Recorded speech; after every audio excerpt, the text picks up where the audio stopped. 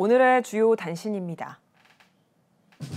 2022 도시 통일 리더십 포럼 출범과 북한 회복을 위한 속회 구역 공과 교재 발간 기자간담회가 열렸습니다.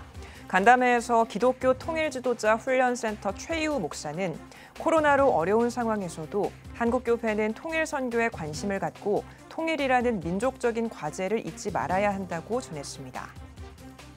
한국 순교자의 소리가 우크라이나 기독교인을 위한 긴급구호 프로젝트 후원에 동참을 요청했습니다. 순교자의 소리는 우크라이나에 남아있는 현지 기독교인이 자신들의 사명에 집중할 수 있도록 기도해달라며 모인 후원금으로 현지 교회를 지원할 것이라고 밝혔습니다. 한국 기독교 장로회 총회와 아이쿱 소비자 생활 협동조합이 플라스틱 사용 저감 자율 실천을 위한 업무 협약식을 가졌습니다. 협약식에는 기장 김창주 총무 등이 참석했으며 두 기관은 업무 협약식을 통해 플라스틱 사용량 감축 방안 등 환경 보호를 위한 방안에 상호 협력하기로 했습니다.